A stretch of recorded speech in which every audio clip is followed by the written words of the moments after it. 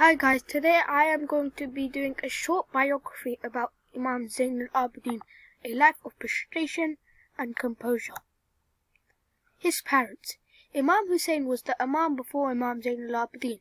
Imam Zain al-Abidin was the was with Imam Hussein in Karbala but was unwell and could not help his father and was taken to prison by the enemies. Shar Banu was his mother. She was reportedly a Sassanid princess and was the daughter of Yazdegerd the third, the last Sassanid emperor of Persia.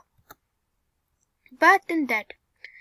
Imam Zain al-Abidin was born on the 5th of Shaban 659 CE He died by poison in the year 713 AH. His sons.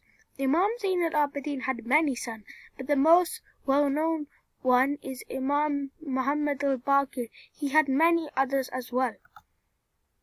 Please like and subscribe and see you in the next video. Bye.